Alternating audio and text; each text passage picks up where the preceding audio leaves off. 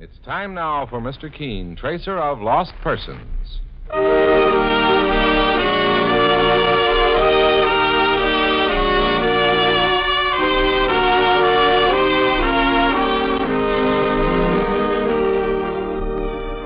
Ladies and gentlemen, Anacin and Kolynos present Mr. Keen, tracer of lost persons. One of the most famous characters of American fiction in one of radio's most thrilling dramas. Tonight and every Thursday at this same time, the famous old investigator takes from his file and brings to us one of his most celebrated missing persons cases. Tonight's case is entitled The Case of the Rushville Murder.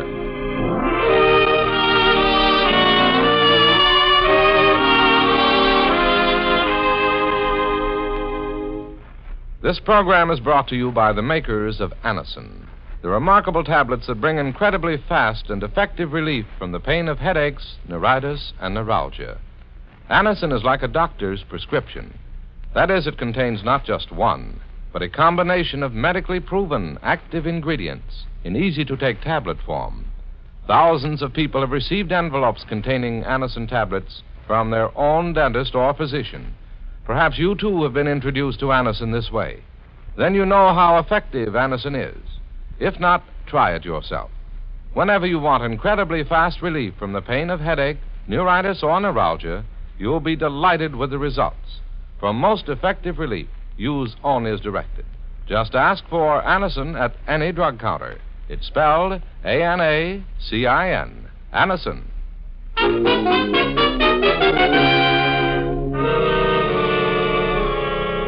Now for Mr. Keen and the case of the Rushville murder. Our scene opens in the home of Dr. Prentice, a well known physician and psychiatrist who resides in the small New Jersey community of Rushville. The doctor's daughter, a tall, lovely young girl, is just reaching for the telephone, which has been ringing insistently, as if aware of the urgency of this particular call. Hello? Laura, this is Dad. Oh, where are you, Father? At the hospital. But I'm coming right home, Laura. After I hang up, be sure to shut and bolt all the doors and windows. Why, what's happened, Dad? One of my patients has just escaped from the hospital. She's a homicidal maniac, Laura, and extremely dangerous. Father, there was something I wanted to tell you. Oh, later, my dear. Right now, you do as I ask. This insane patient of mine is under the delusion that I'm her enemy, and she may head for the house immediately. I've already informed the police. All right, Father. And don't let anyone inside the house. I'll be home in 20 minutes. Goodbye, Laura. Goodbye.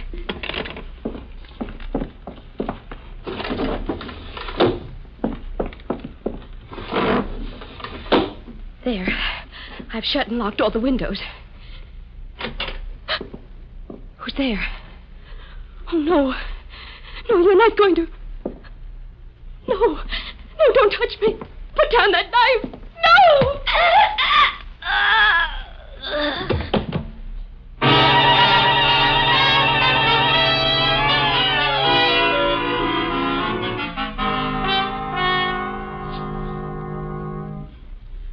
My daughter was found by the police five minutes after I had phoned her, Mr. Keen. She'd been stabbed to death with a kitchen knife. Tell me, were all the windows and doors in your home locked as you had asked, Dr. Prentice? No, Mr. Keen. The windows were shut, but apparently Laura never had time to lock the back door that leads to the kitchen before Natalie Craven, the insane patient, reached the house. Saints preserve us. Well, Dr. Prentice, your insane patient seemed to head for your home immediately after escaping from the hospital. Yes, That's a little odd in itself. but I told you how this patient felt about me, Mr. Keen. I'd treated her for a mental disorder for two years, but she developed a fixation about me and began to feel that I was her mortal enemy. Well, you were devoting your time to bring her back to sanity. Yes, Mr. Keen. But what I meant, Dr. Prentice, was this. You were in the hospital at the time of the insane woman's escape. Now, if she wanted to murder you, why didn't she attack you after you left the building? Why did she come to your home instead and attack your daughter? The mind of a psychotic reacts, reacts in odd ways, Mr. Keen. This woman, Nettie Craven, may have thought I'd left the hospital. Then, finding I wasn't at home, she must have attacked my daughter, Laura, to revenge herself on me. Oh, I see what you mean, Doctor. Since the death of my wife, Mr. Keen, there have been only two things in my life my work and my daughter, Laura. Laura is gone now. But I still have my work. And I intend to carry on. Naturally. I. I don't want Nettie Craven punished for the crime. She's completely insane. But she must be caught and returned to the hospital before she claims another victim. You, for instance, Dr. Prentice? Oh, I wasn't thinking of myself. I'm thinking of others. That's why I've come to you, Mr. Keen. The police are on the case, of course. And if an investigator of your ability also enters it and works along with them, the woman will be captured all the sooner. I intend to do everything I can, Dr. Prentice. Oh, thank you, Mr. Keen. Needless to say, you'll be doing a great public service. Yeah, but we're also thinking about you, Dr. Prentice. Oh, please don't worry about me, Mr. Clancy. Well, if you don't mind, I'd like to do a little prescribing in this particular case, Dr. Prentice. Uh, where is your home? In New Jersey, a town called Rushville. Well, Rushville's just across the river. That's right, Mr. Clancy. Dr. Prentice, I'd like to exchange house keys with you. I'd like you to stay in my apartment until this case is over. And Mike and I will stay in your house. But my work, Mr. Keen, my practice. Well, it'll be better for you to miss a few days' work now, Doc, than to end up with no work at all. You mean you think Nettie Craven will try to make me her next victim? If this insane woman killed your daughter, yes. I insist that you take these precautions, Doctor. Well, in that case, I'll do as you ask, Mr. Keen. Fine. And be careful yourself. I needn't remind you that a homicidal case like Nettie's is most dangerous. Well, I'm aware of that, Dr. Prentice. There's just one thing I'd like to add, Mr. Keen. If a young man named John Digby calls, try to break the news of Laura's murder as gently as possible. John is Laura's husband. Your husband, eh? Was he living in your home, too, Doctor? No. As a matter of fact, my daughter Laura had just come back to my house the day before. She and John were married only a month ago. They had a childish quarrel. I see. Oh, it was nothing at all, Mr. Keen. John's a fine boy, and I was certain I could have patched things up between them. You tried to notify him of Laura's death, didn't you, Dr. Prentice? Yes, but I couldn't reach him anywhere. Very well, Dr. Prentice. You can proceed to my home immediately. I'll notify the hospital you won't be available for a few days. Meanwhile, Mike and I will bend every effort to put our hands on this Rushville murderer before another victim is added to the list.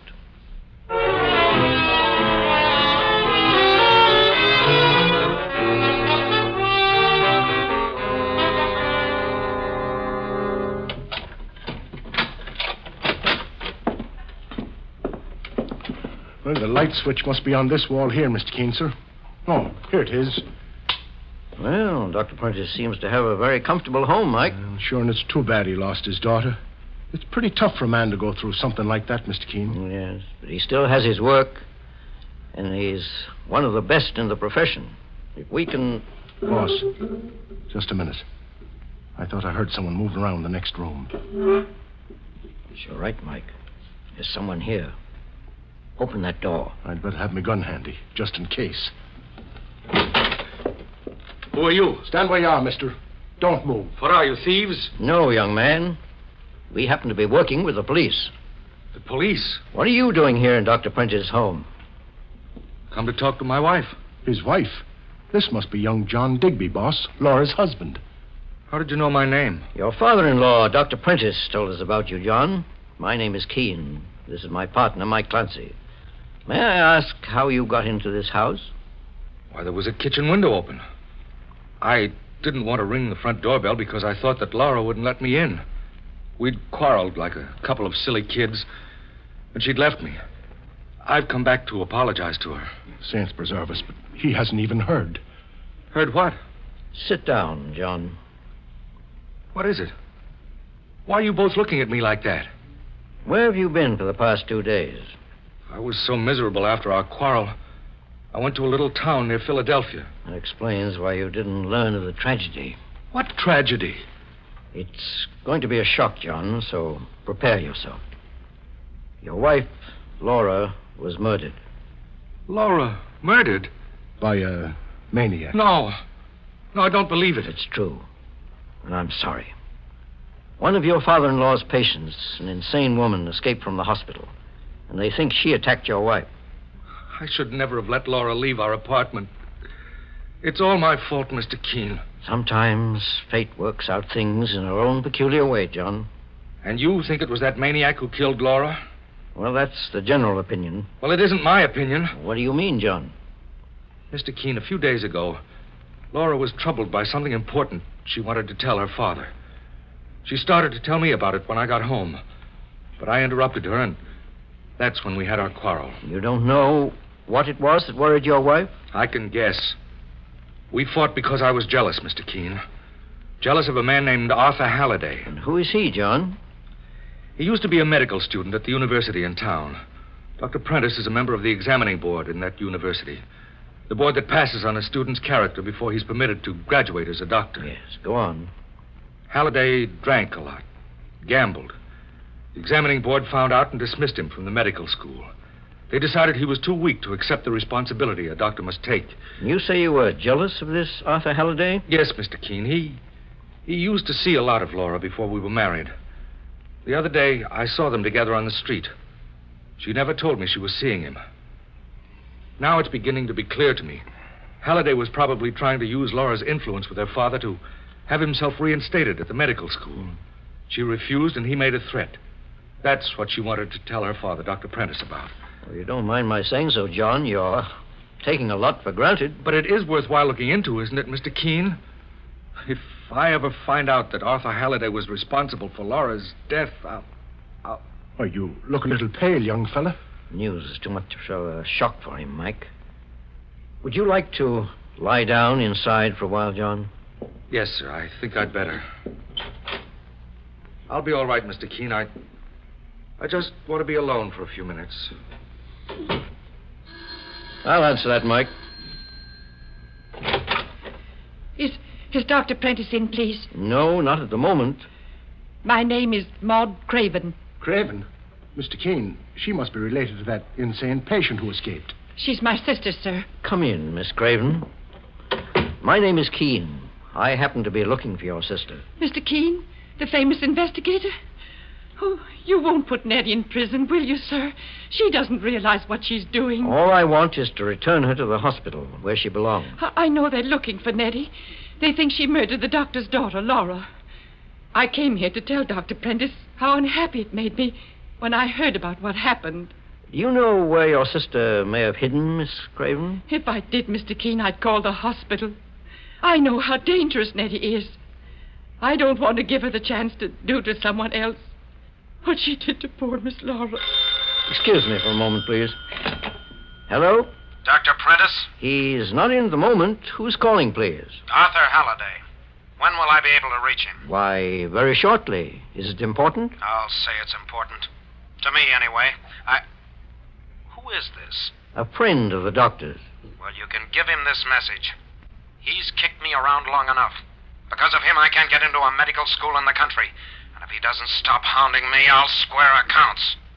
Hello? Hello, hello. Who was that, Mr. Keen? That was Arthur Halliday, Mike. The young medical student John Digby told us about. I wish I could have gotten his address. Well, if he was a student in the town university, they can tell you where to reach him, Mr. Keen. If you want me to, I'll. What is it, Miss Craven? the, the window. Saints preserve us. There's someone outside, boss. Yes, she's staring in the window. Look at that face. She looks like an animal. It's Nettie. It's my sister. Grab her, Mike. Mr. Keen, Isn't she there? there's no one in sight, sir. She's disappeared like a ghost, boss. It's too dark out here to see where she went. She couldn't have gotten far, Mike. Something tells me she's still close by. Come on. We're going to search every inch of these grounds.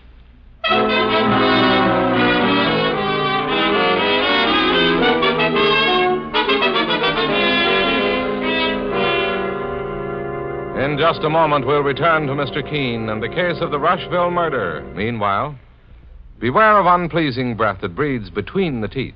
Use Kolynos toothpaste with dental floss action. Those crevices where food particles can decay must be reached for a clean mouth, welcome breath. Kolynos toothpaste gives you dental floss action. That is, sends thousands of cleansing bubbles to help dislodge bits of food that can cause unpleasing breath and decay. Kolynos is dentist recommended. Cleans teeth bright, keeps breath right, and listen, listen. Now save 31 cents on Kolynos toothpaste in the new giant economy size. Go to your dealers today. Take advantage of this great bargain. Save 31 cents on new giant economy size Kolynos. Get Kolynos toothpaste today. Now back to Mr. Keen and the case of the Rushville murder. Mr. Keen, the great investigator, and his partner, Mike Clancy, are investigating the murder of Laura Digby, the married daughter of a well known physician, Dr. Prentice, who's attached to a hospital for the insane. One of the patients, an insane woman named Nettie Craven, escaped from the hospital, and she's the one who is under suspicion for the crime. Now, Mike and Mr. Keen have just seen Nettie's face peering in through a window of Dr. Prentice's home. And as they search the grounds for her, She was standing right over here, Mr. Keen, near this window. Yes, she was, Mike, but I don't see any footprints. It's starting to snow, boss. Well, we'd better go back inside the house. Maybe Nettie Craven managed to slip away after all. Uh, Mike, Yes, boss. Come over here for a moment. Look at this. Why, it's a pair of doors leading right into the ground. No, it doesn't lead into the ground, Mike. It probably leads into the cellar of the house. Some of these old fashioned houses have cellars built this way. Uh, see if you can open it, Mike. Well, I'll try. No. No, it won't budge, Mr. Keen. Nettie must have bolted it on the inside. You think she's hiding in there? Yes. By now, she must be somewhere inside the house, Mike. Here, let me have your handcuffs. Here, here you are, Mr. Keen. Put these handcuffs through the rings on the cellar doors. Lock them from the outside. There we are, Mike. Now she won't be able to get out the way she came in. Now let's go back inside the house and find her.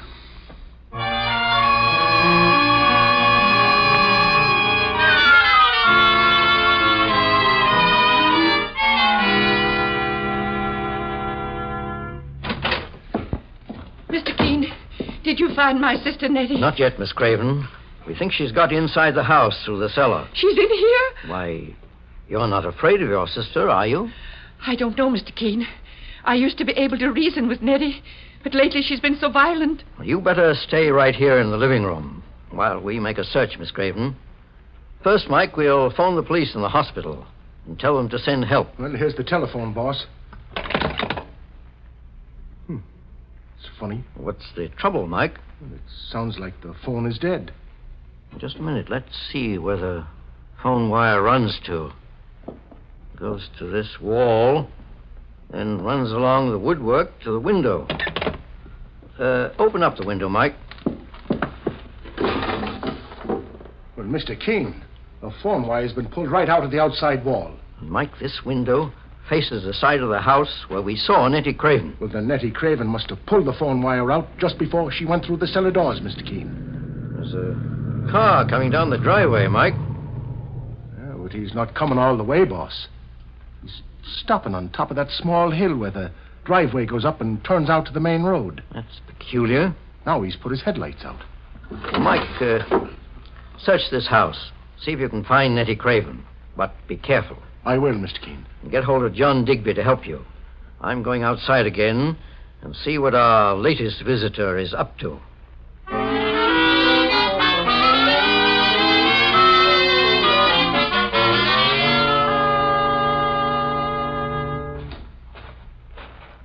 Who's there? Who are you? My name is Halliday, Arthur Halliday, the medical student? the ex medical student. If it wasn't for Dr. Prentice, I might have been practicing now. If your character had been what it should have, Dr. Prentice and the school board wouldn't have stood in your way. You must be the man I talked to on the phone a few minutes ago. That's right. My name is Keen. Get out of my way. It's Prentice I want to see. Now, just a moment. Do you happen to know that Dr. Prentice's daughter, Laura, has been murdered? Laura. Murdered? You didn't read about it in the papers? I. I just got back from New Orleans. I tried to get into another medical school down there, but they wouldn't have me. That's Dr. Prentice's fault, too. When a man has a bad reputation, it travels fast, Halliday. I'm not asking you for your opinion, Keen. I asked Laura to help me, but she wouldn't. So I decided to take matters into my own hands. Now get out of my way before I shoot. I had a feeling you were rather stealthy about your movements. Parking your car up there on the hill and sneaking down Dr. Prentice's driveway in the dark. That gun you have seems to bear me out. I'm going to get square, see? Prentice is my enemy. And if it's the last thing I Look do... out behind you, Halliday. Don't try and trick me. Your car, it's running wild. What? Jump, Halliday. Ah!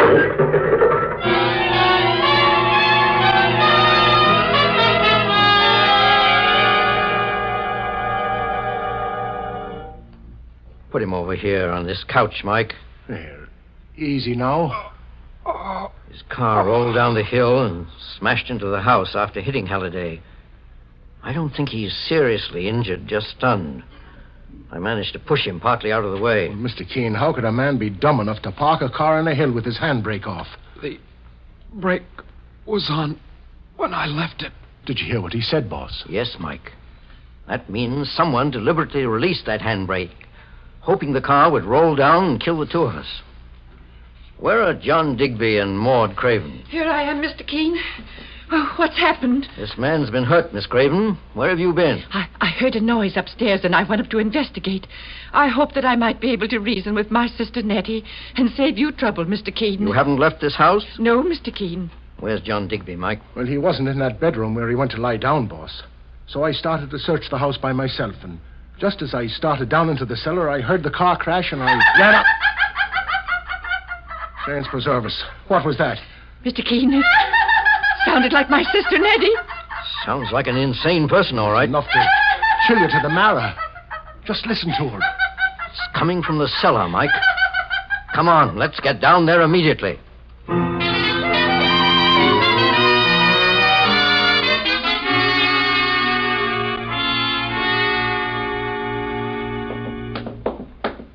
Keen, stay where you are.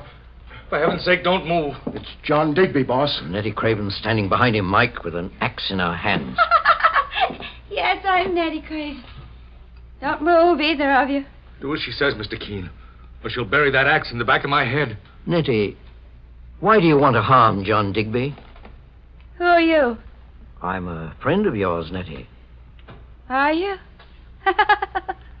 Won't you put that axe down so we can talk? I can talk with the axe in my hand. Where's Dr. Prentice? He's not here, Nettie. That's all they ever do is lie to me.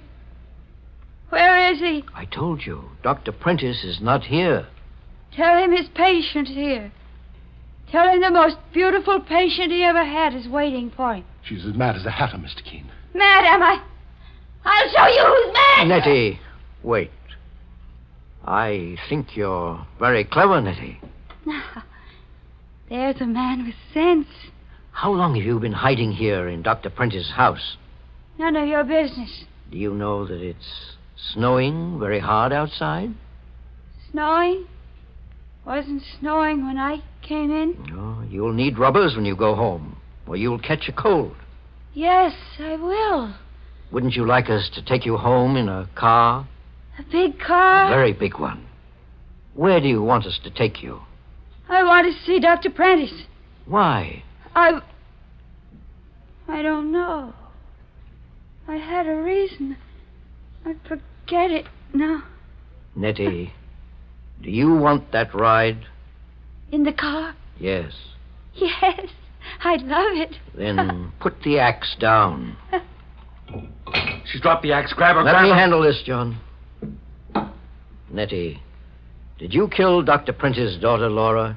I n- never killed anyone. But you once threatened Dr. Prentice, didn't you? Nettie? Nettie, what are you doing down there? Maud!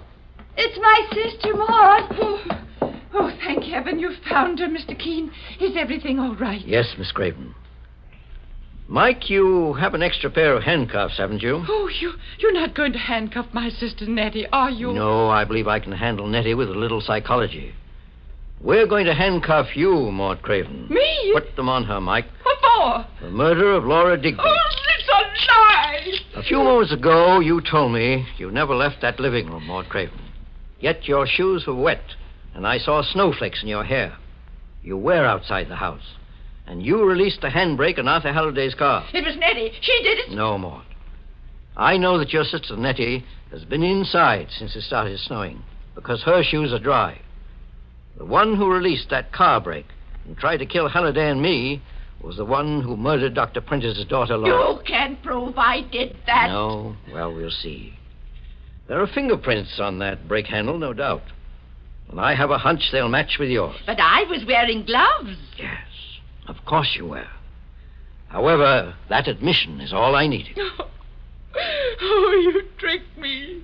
You tricked me, Mr. Keen, just now the way Dr. Prentice did. How did he trick you? I thought he was in love with me, but he was only leading me on. I knew you fell for him, Maud. I knew it all the time. You used to be there when he came to see me at the hospital to talk to me. I could see it in your eyes. but he didn't fall for you. That's right, Nettie. Stand up for him. One of the reasons I wanted to get rid of him was because of you. Don't you see, Nettie? Dr. Prentice was the one who said you were insane. He put you in that hospital. You know you hated him. Mr. Keen, look at Maud Craven's eyes. She looks as crazy as her sister Nettie. Yes, I know, John. It appears that both sisters are hopelessly insane. You fool, you idiots. If you try to turn me in, you'll get what Laura got. So that's why you murdered Laura. She must have found out about your mental condition and was going to tell her father. Yes. That must have been why Laura was worried, Mr. Keen. Exactly, John. Your wife, Laura, found out that Maud Craven was as insane as her sister. But before she could inform the doctor, Maud entered the house and killed her. Is Maud coming with us now? Yes, Nettie, she's coming with you. she's going to stay with you in the mental hospital. Mark, I think we can take both of them away and consider the case of the Rushville murder as closed.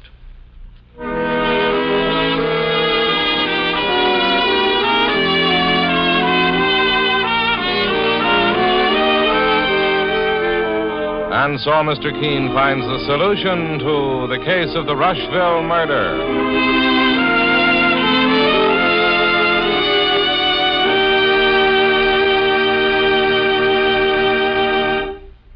The next time you are suffering from the pain of headache, neuritis, or neuralgia, try Anacin. You'll bless the day you heard of this incredibly fast way to relieve these pains. Now, the reason Anacin is so wonderfully fast acting and effective is this. Anacin is like a doctor's prescription. That is, Anacin contains not just one, but a combination of medically proven active ingredients in easy to take tablet form. Thousands of people have received envelopes containing Anacin tablets from their own dentist or physician, and in this way have discovered the incredibly fast relief Anacin brings from pain of headache, neuritis, or neuralgia. So next time such pain strike, take Anacin. For most effective relief, use only as directed. Your druggist has Anacin in handy boxes of 12 and 30, and economical family size bottles of 50 and 100. The name is Anacin, A N A C I N.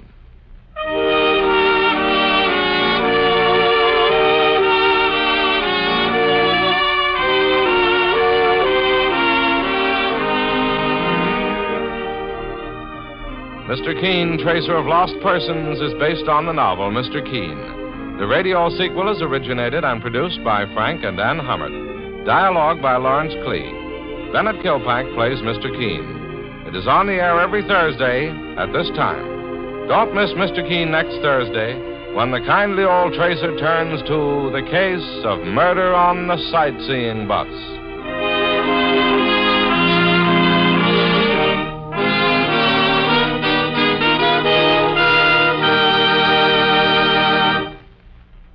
Ever suffer heartburn or upset stomach from acid indigestion? Safe new Bisodol mints, medically proven, quickly rid stomach of that blown up feeling. Give longer lasting relief than baking soda. Yes, hours of relief.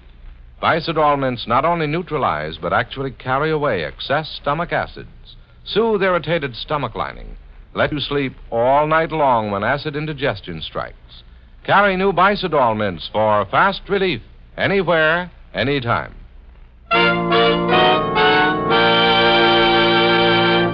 Mr. Keen, Tracer of Lost Persons, will be on the air next Thursday at this same time. This is Larry Elliott saying goodbye for Mr. Keen and the Whitehall Pharmacal Company, makers of Anacin and Kolynos and many other dependable, high quality drug products. This is CBS, the Columbia Broadcasting System.